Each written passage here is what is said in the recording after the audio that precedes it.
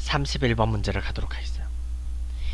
다음 다큐멘터리에서 볼 수 있는 장면으로 적재하지 않은 것을 고르래요.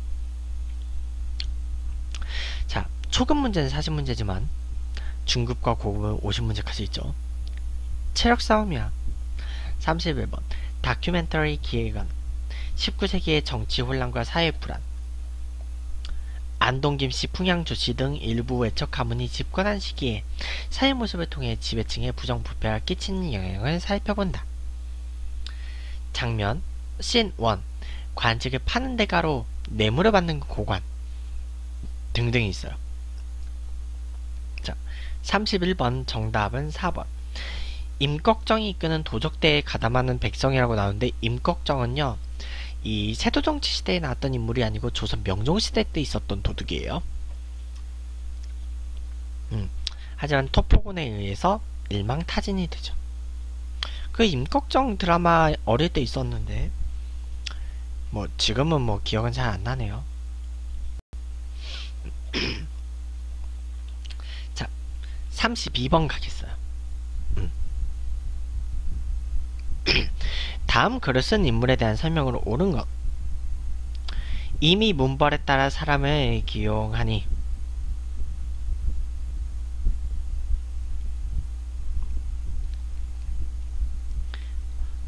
뭐 사람이면 모두 오장과 칠규가 있는데 그 어느 어리석은 사람이 양반이나 중인이 되려 하지 않고 군보의 천역을 즐겨 지려 하겠는가 실 한 가닥이나 쌀 한 톨을 납부하더라도 영명을 붙이니 사람들이 반드시 부끄럽게 여긴다 우서라는 기록에 있고요 음.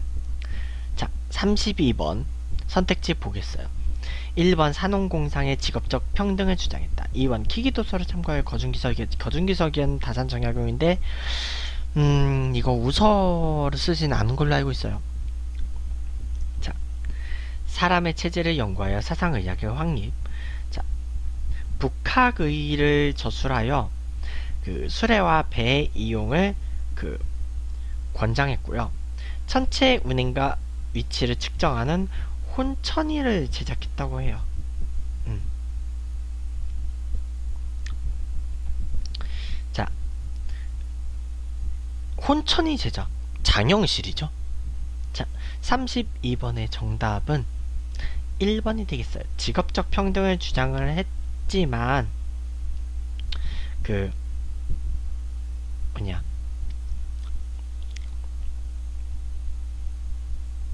그거는 좀 없었어요. 네.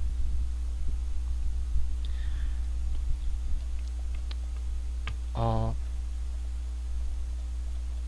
자, 33번을 가겠어요. 가에 들어갈 사건의 결과.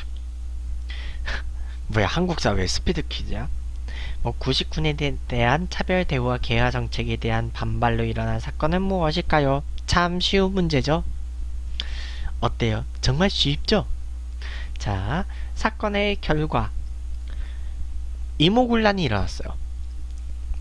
별기군 막 망가지고 막 그랬는데, 그래서 대원군 복귀하고, 하지만, 그, 별기, 그, 뭐냐, 90군대가 이제, 그 뭐냐, 다시 뭐, 일어났는데, 그렇게 이제 대원군을 그 모셔왔어. 모셔왔는데 그 청나라가 개입을 해요. 그래서 청나라가 개입을 하고 그 대원군을 청나라로 납치해버려요. 자, 그리하야 그 대원군은 청나라에 몇 달 동안 유폐됐다가 돌아오고요. 이때 재물포 조약이 체결돼가지고 일본 공사관 경비병이 서울에 주둔을 하게 돼요. 자, 34번을 가겠어요.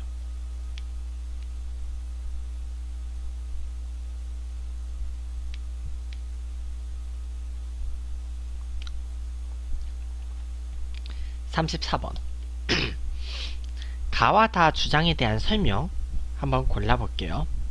음, 1. 가.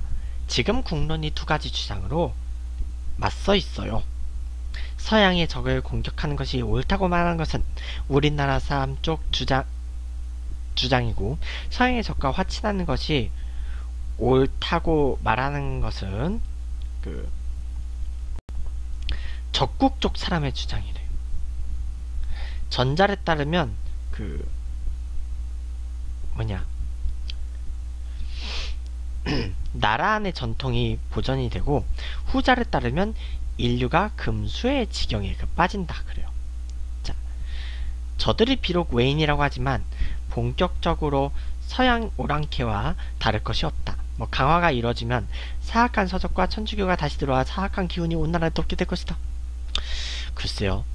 저는 사실 이거 개인적으로 기분은 안 좋아요. 제가 성당을 다니기 때문에. 자, 미국으로 말하면 우리가 원래 잘 모르던 나라래요. 자, 만일 그들이 우리나라의 허점을 알고서 우리나라가 힘이 약한 것을 없이 여겨 따르기 어려운 요구를 강요하고 비용을 떠맡긴다면 장차 어떻게 응대하겠습니까? 하는데요. 자.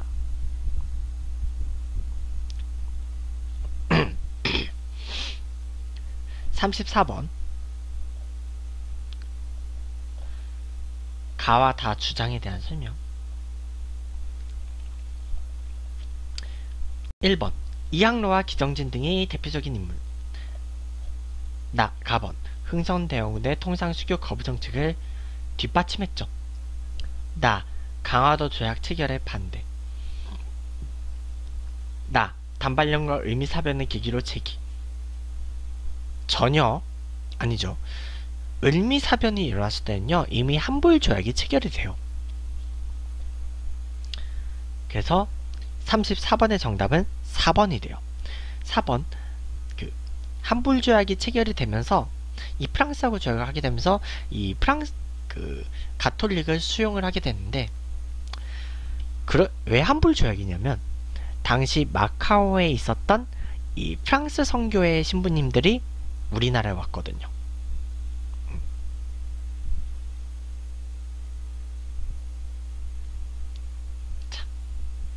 그렇다고 해요. 음.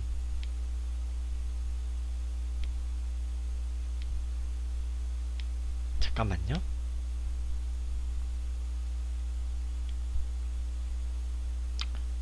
오케이.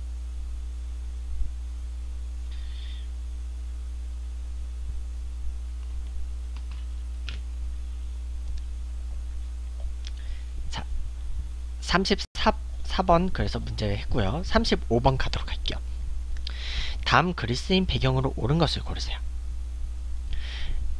대저 우리나라가 아시아의 중립국이 된다면 러시아를 방어하는 큰 기틀이 될 것이고 어쩌고 저쩌고 해가지고 중립론이 나와요. 자, 35번. 음, 다음 그리스인 배경 영국의 거문도 점령 사건이었는데 영국은 사실 근데 거문도까지 왔다가 영일 동맹을 맺고 철수를 해요. 그래서 35번 정답은 4번이에요. 자, 그러면 저는 여기서 잠깐 일시정지를 누르고 지금 뭐냐 뭐 좀 제가 좀 추적할 게 좀 있어가지고 잠깐만